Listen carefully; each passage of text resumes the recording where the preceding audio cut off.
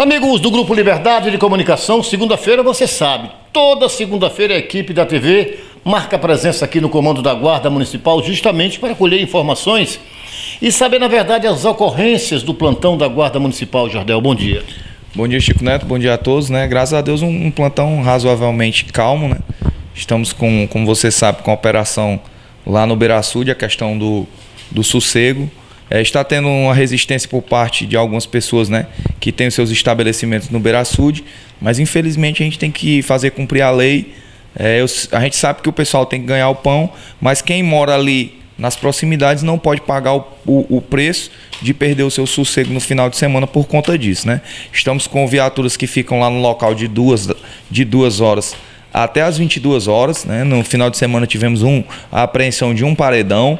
Só que a gente notou aqui, a gente observa pela nossa central de vídeo monitoramento, que eles estão atuando em outros horários, né? Eles esperam que as viaturas saiam para poder chegar com os paredões lá e fazer lá a, a bebedeira, né? Ligar o som alto. E a gente já está tomando as providências cabíveis para que isso não ocorra, né? É, as barracas lá só têm permissão para funcionar até as 22 horas. Depois de 22 horas, eles não têm permissão para funcionar, né? O alvará só é até 22.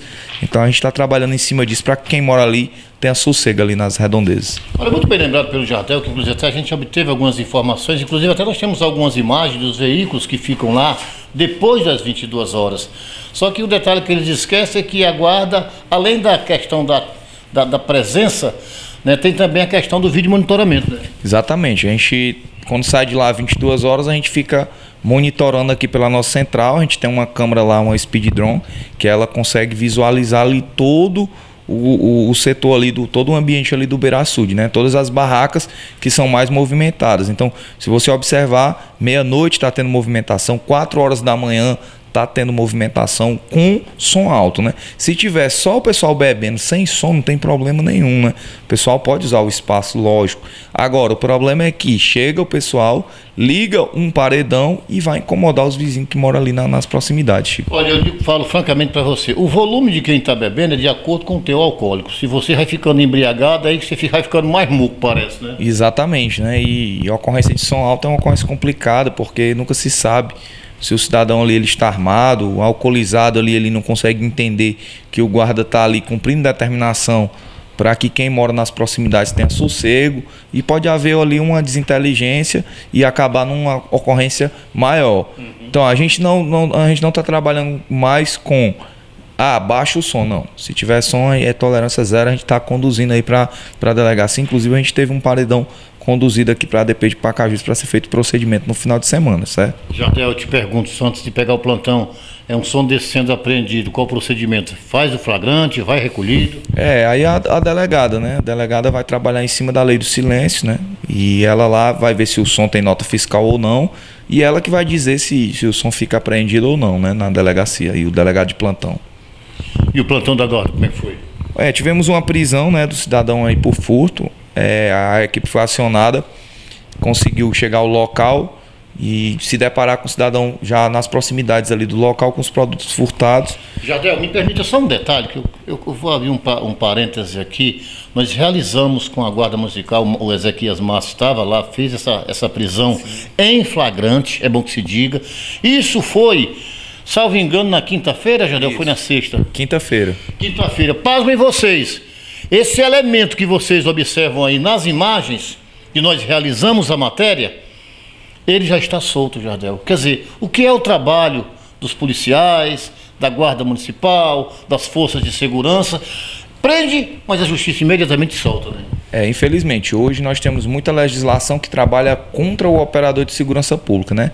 Por exemplo, o simples fato de você tirar o direito de ir vir do cidadão sem uma fundada suspeita é abuso de autoridade. Então, você tem que andar pisando em ovo. Se você realiza uma prisão dessa e por algum momento você tem que é, trabalhar no uso é, diferenciado da força, possa ser que quando chegar lá é, a gente tem uma reviravolta, né? Diferente comparando aqui a um país de primeiro mundo, nos Estados Unidos, que o bandido tem que provar que é inocente. Aqui A polícia tem que provar no Brasil que o bandido é culpado. E tá aí, o cara é preso furtando a residência do cidadão, preso em flagrante, com os produtos do furto, conduzido para a delegacia, no outro dia ele está solto. Quer dizer, já responde por tráfico, já responde por três furtos. É, quer dizer, é rotineiro dele fazer isso. E no outro dia ele está solto e pode ter certeza que amanhã ele vai estar tá roubando novamente e a gente vai continuar enxugando o gelo, é prendendo né? E quando amanhã está solto novamente, né, Chico? Infelizmente. É, é, a mais pura realidade. Esse relato eu fiz questão de fazer para mostrar, né, para algumas pessoas que não entendem, como a lei né, beneficia a questão do infrator. Infelizmente, né? Mas aí a gente dizer aqui o mesmo nome dele aqui, né? Ismael Carlos da Silva. Cidadão já responde vários furtos, já responde por tráfico, para que o pessoal fique ciente aí de quem é, de quem é a peça que está zanzando aí no centro de Pacajus, né? Tivemos também 10 ocorrências de apoio aos demais órgãos, né, operações juntamente com o Demutran e a Polícia Militar. Tivemos um acidente de veículo, uma moto roubada, duas ocorrências de som alto é, fora, né, Beiraçude, uhum. uma prisão do senhor Ismael, é, uma ocorrência de arrombamento, uma abordagem, uma apreensão de paredão e uma ocorrência de agressão. Então, quer dizer, um, um plantão razoavelmente tranquilo aí, Chico. A questão das viaturas já estão todas aptas? Como é que está essa questão? Graças a Deus a gente conseguiu trazer aí a Hilux, a Hilux está funcionando, né? O pessoal precisar aí da guarda, pode ligar para um 53. Estamos organizando aqui para dia 4, a gente iniciarmos dia 4 de outubro o nosso curso. É, o Zé vai despachar com o prefeito agora para ver a questão das extras. O prefeito quer umas operações voltadas para a questão da segurança. Estamos com um problema na madrugada ontem. O ônibus da Vucabras foi arrombado, o motorista foi agredido, né? Foi furtado o ônibus. Os funcionários Desculpem, foi furtado, não, foi roubado, né? É, foi roubado o ônibus da Vucabras, o cidadão foi agredido, o motorista, né? Os elementos usaram aí de bastante agressividade aí no, no roubo. A gente está vendo aqui como proceder nessa situação, vendo da melhor forma.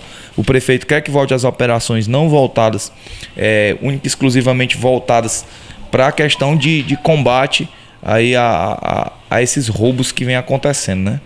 Acho que é importante frisar, principalmente esses horários dos ônibus que vão para Vulcabras, né? de outras empresas, aí, o pessoal precisa ganhar um sustento, precisa trabalhar e geralmente sai em torno de 4 e meia para 5 horas. Né? Exatamente, a gente tinha feito uma, a gente estava fazendo essa operação de madrugada, a polícia cobria um trecho, a gente cobriu outro trecho e a gente conseguiu diminuir bastante aí essa questão desses assaltos, mas infelizmente está voltando, né? O vagabundo ele vai vendo que a gente deu uma aliviada ali no patrulhamento e ele está voltando a fazer esses, esses roubos, mas a gente vai agir aí para que isso não aconteça. Telefone da guarda não, acho que na verdade tem que também utilizar, eu falo sempre no telefone da guarda, telefone da guarda tem que usar também o da polícia, né, Jadel? Com certeza, né? Com certeza. Por isso que eu digo 190. É, ligar pro 190 se o cidadão tiver algum problema, né? E ligar para um 53 e o 992888000. É, é, é, explicar ao cidadão que nós só temos uma viatura com quatro guardas. Muitas vezes a gente pega um procedimento que nem desse furto, vai quase o plantão todo. Então, geralmente o cidadão liga, se a gente tiver noutra ocorrência, não tem como atender muitas vezes o cidadão por conta disso. E às vezes o cidadão não entende porque quem está precisando quer ser atendido, né, Chico? Infelizmente, o nosso efetivo é muito pouco, mas a gente faz o que pode nas condições que a gente tem. Eu acho até, posso até arriscar dizer assim, é uma, é uma burocracia tão grande para se fazer um flagrante, onde que na verdade o elemento passa poucos dias. Com certeza. Tem, tem vezes que a gente sai daqui dependendo se for final de semana ou à noite depois das, das 17 horas, dependendo da situação do flagrante, da quantidade de flagrantes que tem na delegacia, possa ser que as composições voltem 3 horas da manhã, 4 horas. Cadê o curso? Como é que tá os cursos? Então... É, graças a Deus, né? Estamos organizando aqui o curso do o curso da guarda, 4 de outubro. Estou fazendo o processo aqui, o protocolo. Vamos trabalhar com, com a ajuda de outras secretarias. O Darlan vai ajudar a gente também na questão aqui, ceder umas cadeiras. É, Polícia Federal, tudo ok. Iniciamos o curso 4 de outubro. Estou só organizando aqui. E a gente está por aí, né, Chico? Graças a Deus, nos nossos cursos privados, a gente está viajando aí. É, no próximo final de semana estarei no Piauí com o Eduardo, lá no é, sábado e domingo. Amanhã eu estarei com o Eduardo é, ajudando a ministrar lá o VCQB para o pessoal do CIRC, que é o curso de intervenção rápida no recinto carcerário, aqui para o pessoal da Polícia Penal. Amanhã, 5 e meia da manhã, estou lá até às 18 horas para a gente poder fazer essa parceria justamente lá com, com o Michael, né, com o secretário Mauro, é, que é um cara super gente boa. E eu quero estreitar esses laços aí também com a Polícia Penal na questão de treinamento para que a gente possa também trabalhar com o treinamento deles para a nossa instituição. A Polícia Penal vem evoluindo muito e hoje é referência no estado do Ceará em termos de treinamento e de equipamento, Chico. Obrigado, Jardel.